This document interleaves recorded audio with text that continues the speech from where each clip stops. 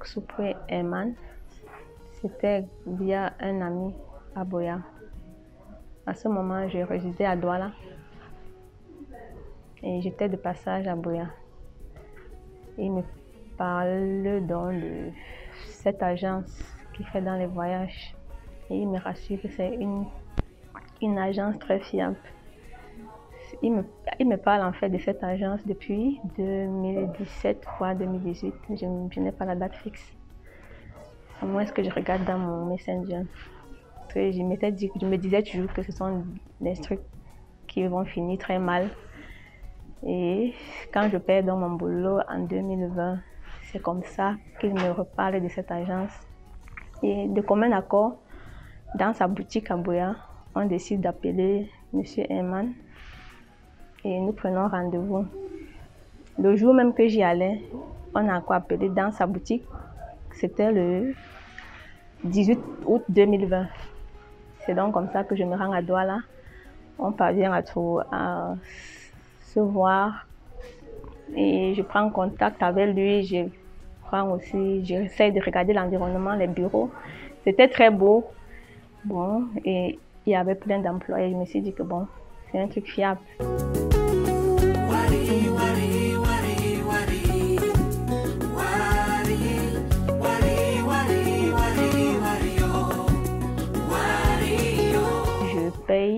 250 000 francs d'ouverture de dossier.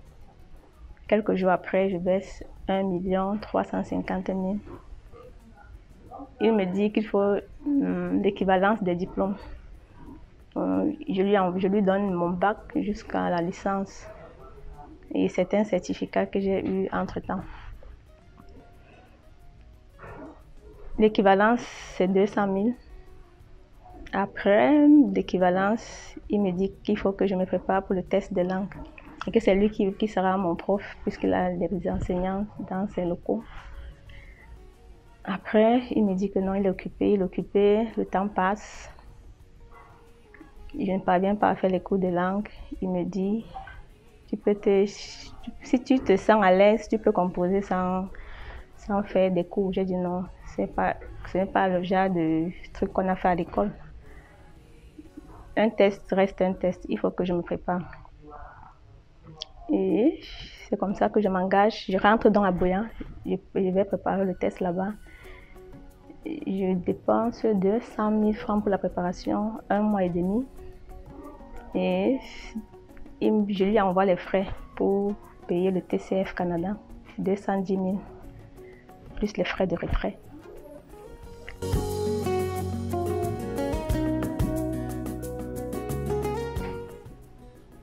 Après, il me dit, ton dossier marche très bien, tu as vraiment la grâce de Dieu, je n'ai jamais eu un dossier comme le tien.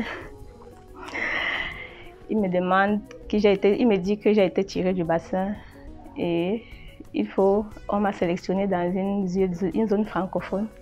Et pour cela, il me faut verser un million, je crois que c'était 500, hein, c'était 200, un truc par, comme ça. On a négocié, nous sommes tombés d'accord pour un million. Là, le million, là, c'est mon petit frère qui le lui remet ici à quoi. Après, il dit, il faut encore, il faut que tu me donnes, bon, envoie-moi 200 000 francs pour le test, pour le pour l'examen médical que j'ai de mes, relations là-bas. Mes candidats ne vont jamais faire les examens parce qu'on peut déceler une maladie et ça te coince. Bon, ça fait bizarre dans ma tête. Je dis, mais moi, je n'ai pas de maladie. Je ne sais pas pourquoi je, je, vais refuser de faire le test. Il me convainc, il me dit que ah, c'est juste 20 000 que je vais ajouter au-dessus, ce n'est pas grave. C'est comme ça que je lui envoie les 200 000. Il m'envoie même deux vidéos, pardon, deux vidéos, comme il est au, à la clinique des Poitiers. Il me fait même voir comment on est en train de transporter les, les enveloppes pour mettre dans leur cas diplomatique et puis on transporte. Il me dit voilà, je venais faire pour certains candidats. Quand tu es prête, tu m'envoies ta part, tu m'envoies tes 200 000. Quelques jours après, je lui envoie 200 000 puisque c'était un vendredi. Je lui dis non, c'est mieux que je t'envoie l'argent lundi ou mardi. Le temps de me préparer. Quelques jours après, il me dit, le dossier avance très vite. Hein. La consultante du Canada veut qu'on finisse son argent puisque elle n'est pas sûre que tu vas donner son argent après le visa. Il me convainc. Je dis bon, comme c'est quelqu'un qui m'a certifié que tu es de bonne moralité, moi je te fais confiance. On lui reverse 1 350 000 encore.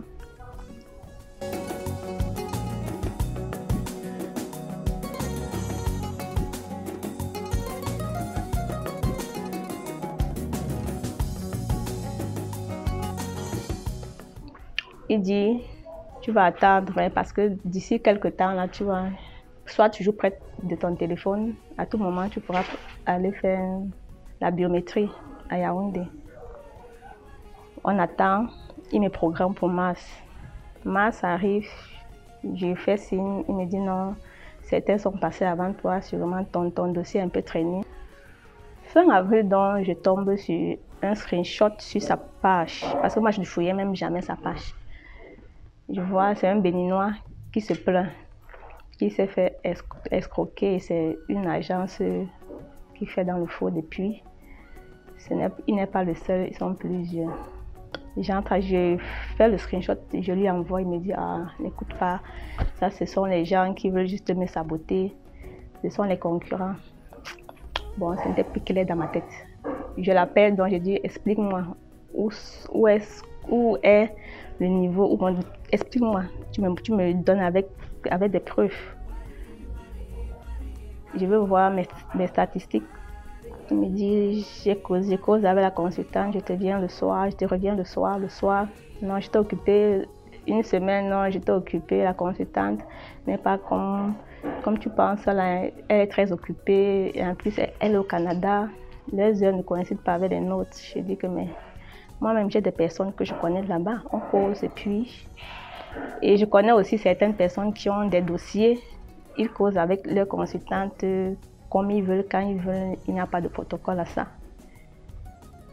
Quand j'ai commencé à avoir des faux, faux rendez-vous, pourtant, il était très ponctuel quand il s'agissait d'argent.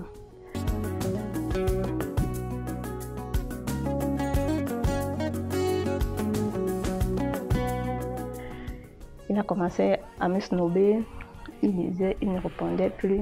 J'entre en contact donc avec euh, le Béninois. Le Béninois me sort beaucoup de preuves. Il me met en contact avec certains Béninois aussi à qui il a estorqué de l'argent. Il m'appelle, il me dit, je vais saboter son entreprise. Pourquoi? Je lui ai dit que mais tu me donnes les informations et je, vais te laisser tranquille. J'ai commencé à mettre les petites têtes rouges sur ses publications. C'était là maintenant les menaces. Les menaces sur menaces. Il appelle ma maman puisqu'il causait. Elle était devant comme l'aînée. Je ne pouvais pas aller quelque part sans qu'elle soit avec moi. C'est donc comme ça que depuis avril jusqu'à maintenant, nous sommes à couteau tiré. 2022. Bon, nous sommes à déjà 4 760 000 francs de dépenses je n'ai pas inclus les frais de déplacement, foyer composé, les va-et-vient qui me faisaient faire Douala Yaoundé, Boya, Douala Boya, euh, Boya Douala, pardon, et Douala Boya ou bien Boya Yaoundé. Je n'ai pas voulu mettre ça dedans pour les dépenses sur ces 4 760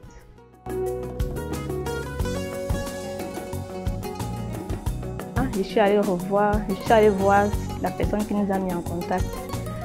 Bon, ses dits ont changé. Il me dit qu'il ne connaissait pas, que j'étais allée le rencontrer. Il n'était pas au courant de ce qui s'est passé entre nous. Je lui ai dit, mais voilà, les preuves sont dans nos téléphones. C'est toi qui as causé avec lui de ton téléphone. On a pris rendez-vous de ton téléphone.